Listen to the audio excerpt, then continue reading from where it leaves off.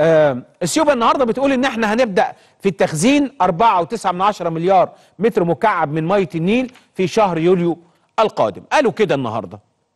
اثيوبيا قالت كده النهارده هنبدأ في التخزين زي ما هم طلعوا بيان من يومين ولكن هنشوف الساعات القادمة إيه اللي هيحصل وإيه اللي هيتم وإيه آآ آآ الدولة الراعية للمفاوضات.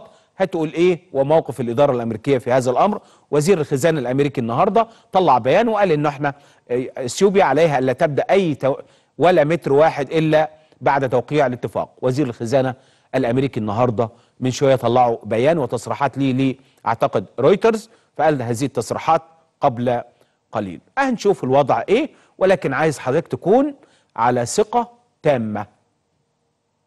أقول تاني على ثقة تامة. بس. تاني؟ مفيش تاني. على ثقة تامة. وضعك وأمنك المائي وحياتك في أيدي أمينة. نقطة تاني أقولها أكررها حياتك ميتك أمنك المائي في أيدي أمينة. هل ممكن حد يهدد حياة المئة مليون؟ الإجابة إطلاقاً. حد هيسمح حياة ال 100 مليون. حد يهددها؟ اطلاقا. أنا بقول لك الحكاية. هذا الاجتماع متعلق بسينا والإجراءات والبيان الرئاسة. هذا الاجتماع طبقا لبيان رئاسه الجمهورية. هذا الاجتماع اتكلم على سينا الوضع الامني الاتجاهات الاستراتيجية المخاطر الحاجات التهديدات الأمن القومي في هذا الاجتماع. عشان الموضوع يعني آه ولكن إحنا بنتكلم بشكل واضح وبعيدا عن هذه الصورة. أنا كلامي واضح.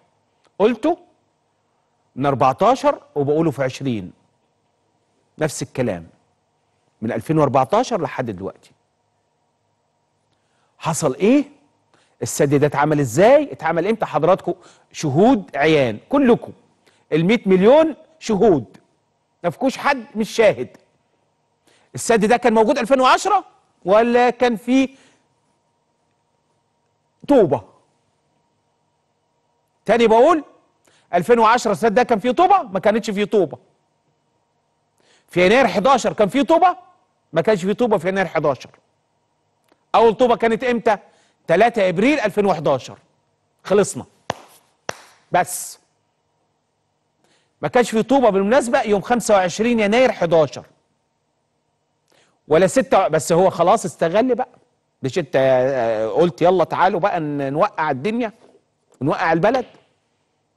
والناس استغلت الوضع اللي في بلدك. لازم كل مرة أقول الحكاية دي. لازم كل مرة أقول الحكاية دي. لأن هي ده هو ده الموضوع. هو ده السبب. هو ده السبب. مفيش حاجة أخرى مناسبة. مفيش حاجة أخرى.